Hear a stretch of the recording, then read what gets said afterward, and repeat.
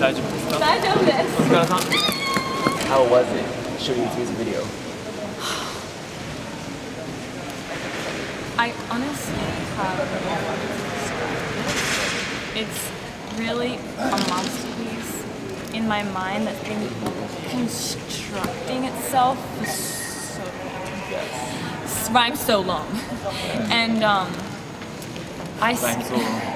ice skating, music, talking about and and kind of talking about like small thing like this video clip has every little aspect from bullying things to social media, um, mental issues, and like being distracted.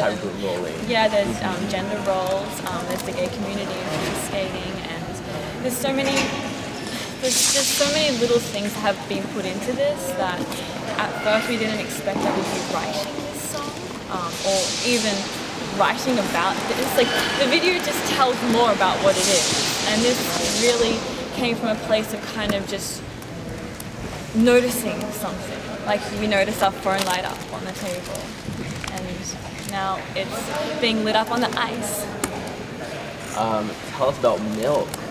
Oh my god, I love Milk so much. She's amazing. She's actually not only is like her presence and her personality and her the way she dresses or everything she does, but she's just got a really good heart. And she gave me some really beautiful advice and we had some nice conversations. That's really meaningful.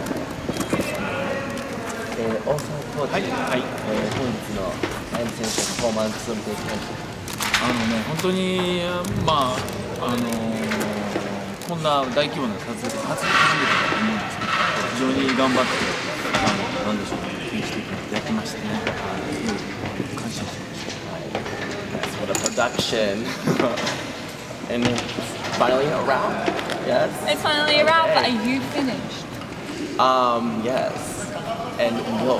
Didn't realize that I was logged up before a judge. really? Did you guys know? Is that why you gave her more points than me? Yes.